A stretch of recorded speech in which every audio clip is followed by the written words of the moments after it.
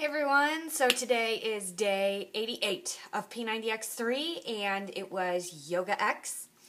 And today what I wanted to share with you is that sometimes what you do takes a long time to be able to accomplish.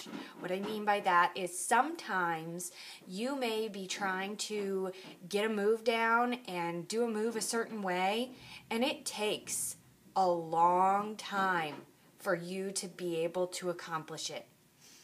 Today, I was able to hold crow pose for pretty much the entire time that you are supposed to hold crow pose. Up until today, which, you know, day 88, I have done Yoga X multiple times, and I have not been able to hold crow pose as long as I was able to hold it today. So, Basically, what I'm saying to you is don't give up. Don't get discouraged that the people on the screen can do things that you can't do because they've been doing them for longer. That's why they were picked. They have been critiqued and perfected. And that's why they are in the videos so that they can show you the best form in each move that is being shown.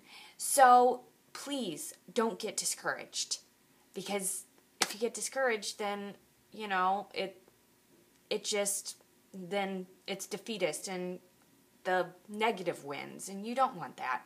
So just keep trying it, just keep going. I can tell you I I it was hard for me because it's like, oh gosh, darn it, I've had crow before and I just can't seem to get it again. And I was able to do it today.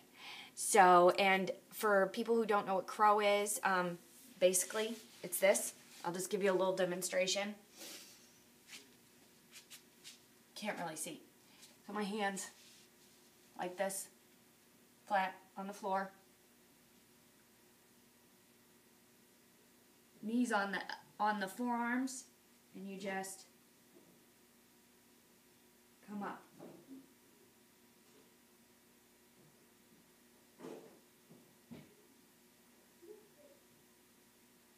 Like that. Okay? And I had to keep putting my feet down over and over and over and over and over again before I could get that. And um, it's discouraging.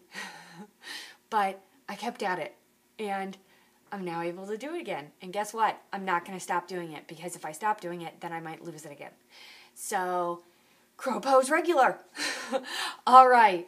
Well, I guess that's about it for today. So, have a great day, guys. See you later. Bye.